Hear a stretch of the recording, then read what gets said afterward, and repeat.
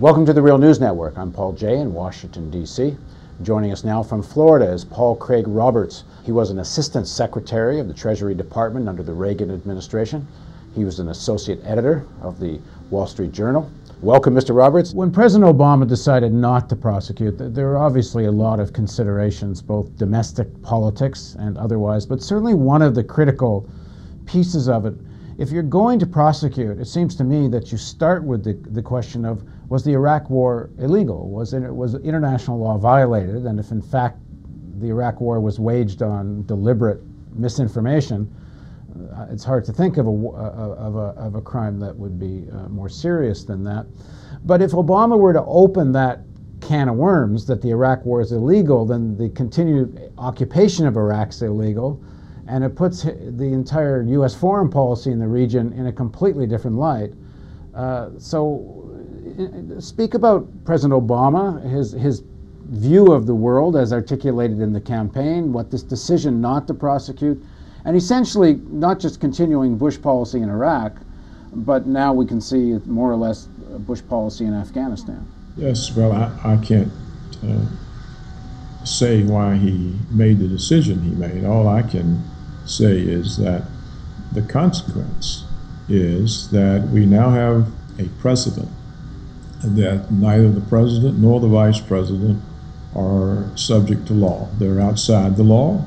They can violate the law with impunity. This is a, a heinous development. I can't think uh, of anything worse uh, to happen to the United States than to establish legally that the rulers are uh, not subject to law.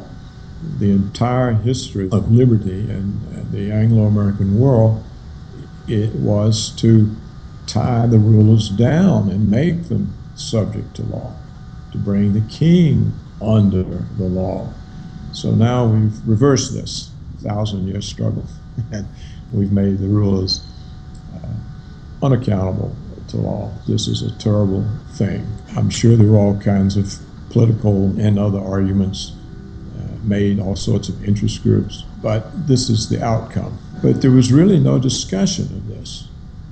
And what this shows is that the American people, the political people, the legal professions, that what was really at stake, they had no idea what, what's really at stake. And to say that some silly war, which actually probably was an act of treason since it was apparently based on deception. You know, the British right now are holding these inquiries. They, they already know that it was based on deception, and they're trying to find out how they can prevent that from happening in the future. Part of what's come out early in the inquiry is that uh, it was very clear that Blair and Bush had decided to invade Iraq as early, I believe, as 2002. And the idea that weapons of mass destruction would be more a rationale than an actual reason was clear as far back as 2002. But what do you make of the lack of American media coverage of the British inquiry? Well, what does the American media, media cover? if you're talking about the newspapers and the, and the, and the television, they, never, they don't cover anything. So we don't want the people to know that the war was uh, contrived and that some other agenda was being served that we still have not been told. You know, we don't really know. The, the, the, government has never told us why they invaded Iraq. They lied to us and said, oh, he has weapons of mass destruction. And yet the record is clear that the government knew they did not have these weapons. This is a known fact now. We still don't know why they did it, and they're not going to tell us. And so, probably, if Obama is trying to uh, gin up the war in Afghanistan, uh, he doesn't want a lot of news coverage of the British inquiry into how Blair deceived his own cabinet in order to do Bush's bidding and provide cover for Bush's illegal war in, uh, in Iraq. How did you respond to President Obama's speech the other night on Afghanistan? Uh, well, I didn't bother to listen to it. I mean, I already knew he was to what he was going to do. So it's a very interesting thing because here we have uh, uh, millions of Americans on that very day uh, lost their um, uh, health insurance subsidies from COBRA. So all of a sudden, millions of Americans no health coverage. Uh, that day or 24 hours before, the Detroit Free Press published a 127 page supplement to the newspaper listing all of the metro area foreclosures. In Michigan, 48% of the mortgages exceed the value of the homes.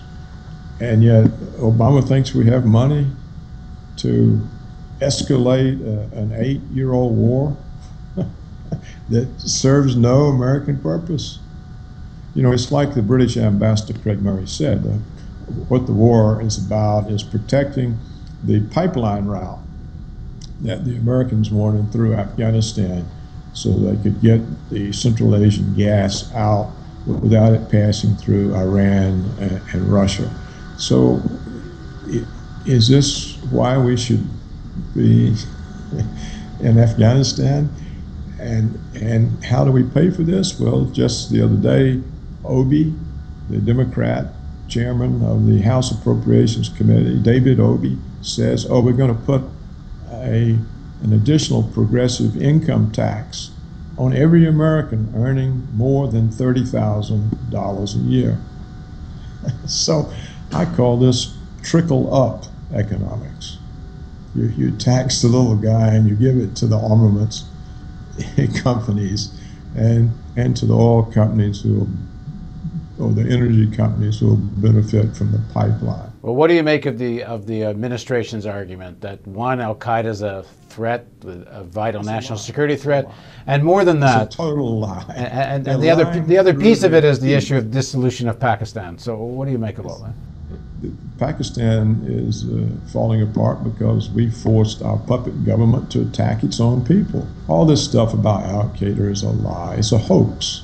Why, why do you say so? Because it's a, it's, it doesn't exist in any way that it means anything to us. Well, what's the, what's the evidence for that? Because uh, they, well, what's the evidence that, that it means anything? Well, the evidence, well, the, the evidence, what, they, what they say they have, they, the evidence is 9-11, the attacks on the uh, U.S. embassies and so on. Uh, there's certainly been attacks in Europe. Oh, you mean, you, you mean they, they uh, object to our aggressive policies and our hegemony uh, in their own lands. and this, these, this is, if this organization exists, it's nothing to do with the state. It's nothing to do with the Taliban. The Taliban is not Al Qaeda. Pakistan is not Al Qaeda. The whole thing is some kind of a, of a hoax. It's an excuse. So what's the what's the real so the real objective is is pipelines. What have we had with the 9/11 Commission report? We've had the legal counsel of the 9/11 Commission who apparently drafted the thing. He's written a book and said, you know, the, the military lied to us. The people lied to us. We were supposed to be helping us. We've had both co-chairmen of the commission say the same thing. The 9/11 Truth Movement is very large. There are very many very distinguished, intelligent people, architects, engineers, scientists, and they point out all kinds of problems with this report. There's really never been an examination. There was a political commission that was denied most of the relevant testimony and information according to their own chairman and legal counsel. And they produced a, a political document. We don't know what happened. We, I mean, people can say, oh, we, we believe this because the government did it, but it's the same government that told us uh, that Saddam Hussein had weapons of mass destruction and, and Saddam Hussein had Al Qaeda connections. Well, we know for a fact he didn't. Thanks very much for joining us, Mr. Roberts. And thank you for joining us on the Real News Network.